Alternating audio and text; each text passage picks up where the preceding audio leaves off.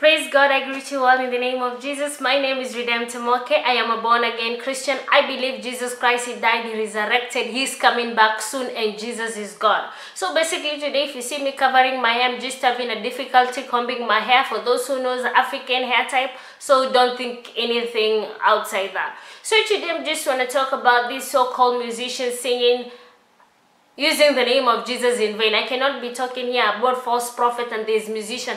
I think I should do more videos of exposing these people because the church are blind that they cannot see. I think actually I should do more videos. I'm going to pick one by one musicians, preachers, and I'm going to expose them and I'm going to tell you if these people are true indeed, which is the singers of God or they're just anointed by their own words. You know, the Bible says, start not their, my anointed word. But did God say he ever anointed them? Did God tell you he anointed them? Some of them, they have been anointed by devil. Do you know that God, Satan is God to someone? No, you don't know. Now you know. So basically today, I'm just going to talk about this. But before I start, let's read in the book of Ephesians chapter 5, verse 8 to 14. This is what the Bible says. For we were once darkness, but now we are light in the Lord. Walk as children of light.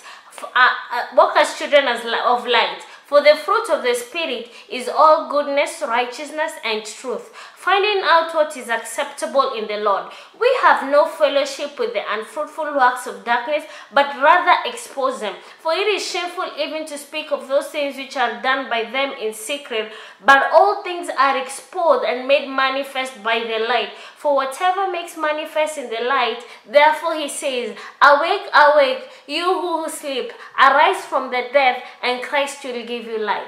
This is not my word, this is a Bible saying. So the Bible actually tells us that uh, we are the children of light and there is no there is no like we were once darkness but now we are light. Let's say for example i was once yeah not even example me once before i was a sinner before i was doing these things of the world and i was finding it so fun.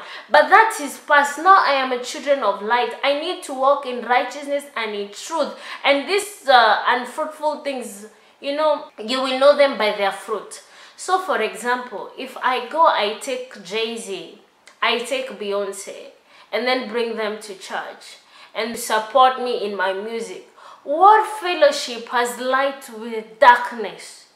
Beloved, Tasha Cobbs just sang with Nicki Minaj and the church is quiet about this. I've seen only few people talking about this. In Kenya, we have dozens of secular artists who are saying in the name of Jesus. And there's so many, I know them, and I'm going to expose them in due time. I'm not going to keep quiet about this. I said before, I will not keep quiet to please man. The boldness that I prayed, God give me this boldness, is a boldness I'm going to use to expose these false singers. But now basically, I'm just emphasizing with these singers who are singing with secular artists in the name of Jesus. Book of Acts chapter 16 verse 16. This is what the story of Paul and Silas was. It happened as they went to pray. A certain slave girl possessed with the spirit of divination met, met them, who brought her masters much profit by fortune telling.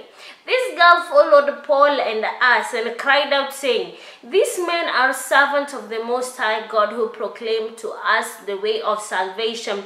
And she did this so many days, but Paul greatly her and said to the Spirit, I command you in the name of Jesus to come out of her. And he came out that very hour. But the master saw that their profits were gone and seized Paul and Silas and dragged them into the marketplace to the authority. So basically, God has never used darkness to promote light. So we see this girl, she was possessed, she, she was... Uh, she was a slave girl and she was bringing the masters uh, a lot of profit because she was a fortune teller. And you know those are the people of darkness. This girl was not bewitching paul. No she was saying something good actually that most pastors find it so good. She was not like throwing charms or saying i rebuke you or i curse you. She was saying these are true servants of god. So why did Paul have to rebuke the spirit to come out of her if she wasn't saying anything bad? Because God does not use darkness to promote light. So how can you bring a secular musician to promote your song and saying you want to to to to bring more believers to Christ? How? How does it ever happen? You know, I don't understand unless you make me understand. How? Where in the Bible did God use the the Baals, the god of um, Baal, the gods of idol, the people who worship idol, to come and uh, promote his uh, works when in the Bible?